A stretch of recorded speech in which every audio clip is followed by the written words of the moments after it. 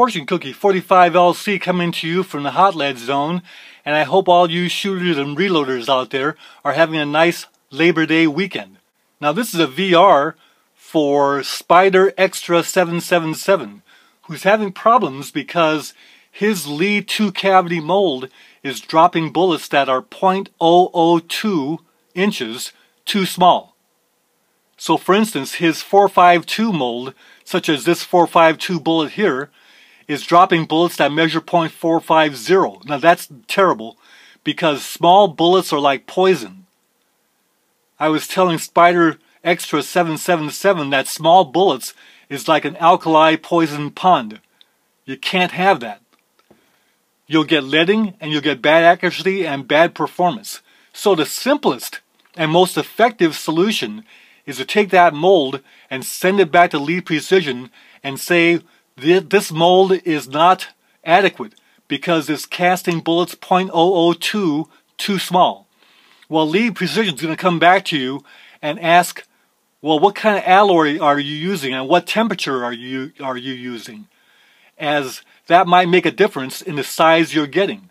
Well, let's look at that. In years past, I don't know if it's true now, but when you bought a big piece of Lyman casting equipment, they used to include this instruction guide for bullet casting and reloading, and it's a pamphlet. They used to include that, and so I had a bunch of these. I kept one. Should have kept the rest of them because I could give them to people. Because now they cost $1.75 or so to buy this. But inside this manual, and some of this information is in the Lyman uh, Cast Bullet Handbook, but inside this gives a table of what happens to the bullet size when you vary the hardness of the alloy from pure lead to wheel weights to number 2 alloy to linotype. So it's going from soft to hard. And all these bullets here in different sizes, rifle and pistol, is all the same. The harder the alloy, the bigger the bullet casts. So for instance, take the 45 ACP bullet here. With pure lead, it drops out, of the mold at 0.4515. But if you use pure linotype, it drops out of the mold at 4535. That's a whole 0.002 inches difference. Well, why is that? And the reason is, if the alloy is pure lead, then the alloy is free to shrink as it cools. And it'll shrink the most it can.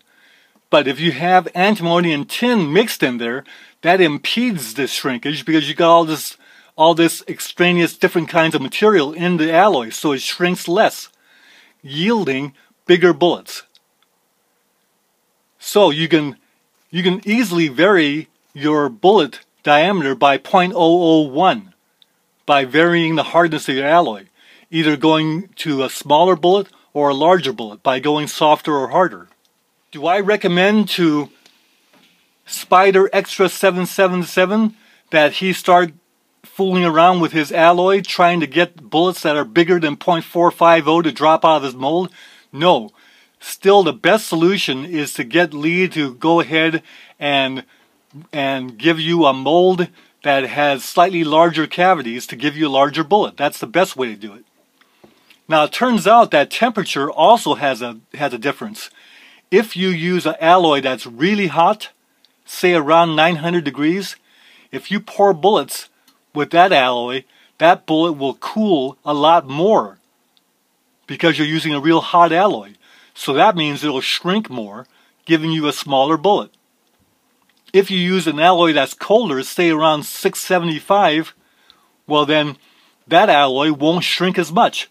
So you get a little bit larger bullet to drop. Now that difference might only be 0.0005 to 0.001, less than 0.001 inch, but it might make the difference to get to get you the bullet that you want, the size that you want. But again, the best solution is to get mold cavities that'll drop the size you want with the more common alloy that, that you might have, say wheel weights or range scrap with a little bit of tin and antimony added. You don't want to have to vary your alloy a lot because you don't want to have bullets either that soft or that hard. So you shouldn't have to compensate by using your alloy and your temperature to get that. But it's good to know that within reason, you have a little bit of room to play with the size of your bullet by varying the alloy and temperature of your lead. So shooters and reloaders out there, hope this is a little bit helpful. And Spyderxtra777, you're still your best bet's to send it back to Lee and get a mold out cast without having to do gyrations, but the gyrations are available. See you in the next video. Bye for now.